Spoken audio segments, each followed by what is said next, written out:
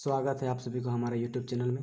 आज की इस वीडियो में हम लोग पढ़ने जा रहे हैं क्लास सिक्स का मैथ। प्रश्नावली एक दशमलव एक पिछले क्लास में हो चुका है। यदि आपने उस वीडियो को नहीं देखे हो तो प्लेलिस्ट में जाके देख लें या फिर इस वीडियो के डिस्क्रिप्शन में लिंक दिया गया है, उस पर जाके क्लिक करके देख सकते हैं।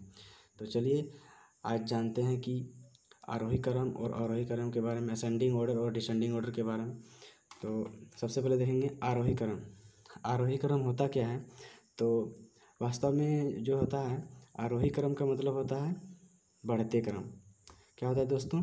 तो आरोही क्रम का मतलब होता है बढ़ते क्रम इसको हम आरोही क्रम को बढ़ते क्रम में लिख सकते हैं। बढ़ते क्रम इसको हम बढ़ते क्रम लिख सकते हैं। तो इसमें कैसे हम इसको अरेंज करेंगे? जैसे संख्या हमारा दिया हुआ रहेगा, जैसे मान लेते हैं दो, सात, आठ, छः, तीन। इस तरह के कुछ संख्या दिया हुआ रहेगा। इसे बोलेगा आरोही क्रम में सजाएँ। तो इसको कैसे सजाएँगे? आरोही क्रम में। तो इसमें हम लोग देखते हैं, इसको हमको बढ़ते क्रम में। सबसे पहले हम लोग देखेंगे जानेंगे ये कि हम लोग बढ़ते हैं तो पहले अपना रियल लाइफ में हम लोग अपना बारे में जान लेते हैं कि जो हम लोग बढ़ते हैं तो कैसे बढ़ते हैं। तो हम लोग का जन्म हुआ तो मान लिया जाए एक साल में इतना उम्र हुआ, दूसरा साल में इतना उम्र हुआ, तीसरा साल में कुछ ज़्यादा बड़ा हुए, चौथा साल में कुछ और ज़्यादा साल बड़ा हुए, पाँचवा साल में और कुछ ज़्यादा साल बड़ा हुए। तो इस तरह पहले हम छोटे थे, एक साल में इतना बड़ा हुए, दो साल में इतना बड़ा हुए, तीन साल में इतना बड़ा हुए, फिर चार साल में इतना बड़ा हुए। तो धीरे धीरे धीरे धीरे थोड़ा थोड़ा करके बढ़ते गए। तो इसी क्रम को हम बढ़ते क्रम कहेंगे। जैसे पहले हम छोटा से स्टार्ट करके धीरे धीरे उसमें बढ़ते बढ़ते बढ़ा जाएँगे। तो उसी तरह संख्या को भी हमको अरेंज करना है कैसे आरोही क्रम में तो छोटा से स्टार्ट करना है किससे? तो छोटा से तो चलिए इसको छोटा से स्टार्ट करते हैं। तो इसमें सबसे छोटा हमको देखना है कौन है? तो सबसे छोटा इसमें दिख रहा है, दो है। सबसे छोटा है तो ये देखिए सबसे छोटा था, उसमें सबसे छोटा संख्या हम लिख रही है। अब सबसे छोटा है, उससे थोड़ा सा बड़ा। उससे थोड़ा सा बड़ा कौन है इसमें देखते हैं। तो ये तीन है, संख्या तीन। अब तीन से यहाँ, जैसे इसके बाद देखिए थोड़ा सा बड़ा हमें तो थोड़ा बड़ा वाला हम लोग खोज लेते हैं इसमें।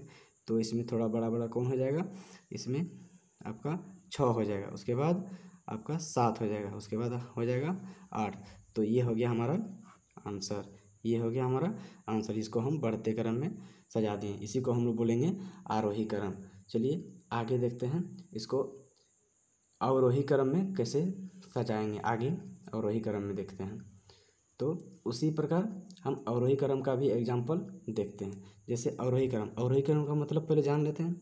तो अवरोही क्रम का मतलब होता है घटते क्रम इसका मतलब होता है घटते क्रम घटते क्रम तो इसको भी उसी तरह से हम समझेंगे। जैसे हमारे पास, मान लीजिए इसमें चावल रखा हुआ है दस के जी हम इसको खाना है तो प्रत्येक दिन एक के जी खाते हैं। तो एक के जी खाते हैं तो मेरा थोड़ा सा घटा। फिर उसमें दूसरे दिन खाएँगे, फिर थोड़ा सा घटा। फिर तीसरा दिन खाएँगे थोड़ा सा घटेगा। फिर थोड़ा सा खाएँगे, फिर घटेगा। तो ये हमारा प्रोसेस इस तरह चलता है कि जब अधिक चीज़ रहता है उसमें से थोड़ा थोड़ा थोड़ा थोड़ा करके घटता है तो उस प्रोसेस को हम लोग क्या बोलेंगे? उस प्र, इस प्रक्रिया को हम लोग बोलेंगे कि ये घट रहा है धीरे धीरे तो इसको हम लोग घटते क्रम में। तो उसी तरह हम लोग संख्या में भी देख लेंगे कि घटेगा कैसे किस प्रकार। तो मान लेते हैं एग्ज़ाम्पल दिया रहेगा मान लिया जाए जैसे नौ ग्यारह सत्रह अठारह बीस इस तरह के संख्या दिया हुआ रहेगा तो इसको हमको सजाना है। तो इसको हम सजाएँगे कैसे? तो इसको देखते हैं कैसे सजाते हैं। सबसे हमको पहले क्या करना है, देखना है कि इसमें सबसे अधिक है क्या?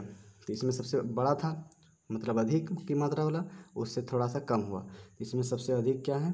तो सबसे अधिक इसमें हमारा दिख रहा है, कौन संख्या है? तो बीस है। उससे छोटा कौन संख्या है? तो अठारह है। उससे छोटा संख्या कौन है? तो सत्रह है। उसके बाद है ग्यारह, उसके बाद लास्ट है नौ। तो इसमें देखिए दोस्तों, पहले बीस था, बीस से अठारह हुआ, अठारह से सत्रह हुआ, सत्रह से ग्यारह हुआ, ग्यारह से नौ हुआ। तो ये हमारा हो गया घटते क्रम में। इसी को आगे हम लोग देखेंगे प्रश्नावली एक दशमलव दो में इसी को हम लोग को पढ़ना है आरोही क्रम और अवरोही क्रम के बारे में। तो ये कुछ बेसिक बताएँ एग्ज़ाम्पल इस वीडियो में बस इतना ही। मिलते हैं नेक्स्ट वीडियो में प्रश्नावली एक दशमलव दो का प्रश्न को लेकर। तब तक के लिए बाय थैंक्स फॉर वॉचिंग